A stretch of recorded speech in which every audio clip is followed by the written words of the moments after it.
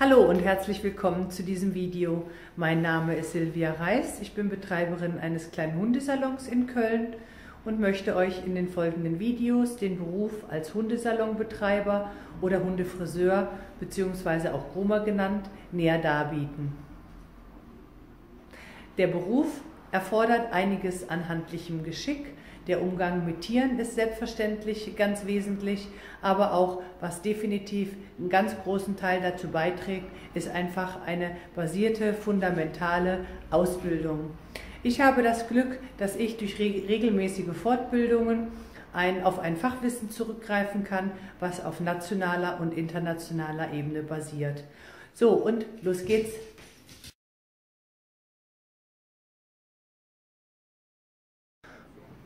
Heute präsentiere ich euch eine, einen Trimhund. Das ist Murphy, ein Irish Terrier, noch ein sehr junger Hund. Er ist bisher einmal hier gewesen und äh, wird fachmännisch von Hand abgetrimmt.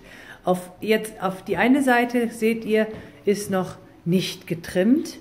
Ja, ist ein ganz schönes, drahtiges Fell und ähm, was jetzt auch reif ist abgetrimmt zu werden. Murphy? You're such a good boy. So, und wir haben aber schon mal angefangen und auf der Seite, so sieht es dann aus, wenn das Tier abgetrimmt ist. Ja, man sieht da einen ganz klaren Unterschied und ich habe das hier auch nochmal aufgerichtet und das, was jetzt aufgerichtet ist, das wird alles noch abgetrimmt. Ja, und ähm, wie gesagt, das wird alles von Hand gemacht und ähm, ja, gut.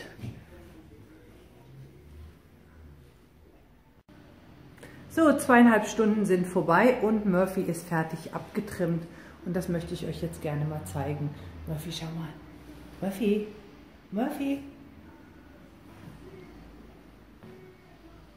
Genau, also so sieht ein fertig abgetrimmter Irish Terrier aus. Komplett von Kopf, von Rute bis zum Kopf, bis zu den Füßen komplett von Hand abgetrimmt. Hier unten seht ihr das tote Fell, was heute abgetrimmt worden ist.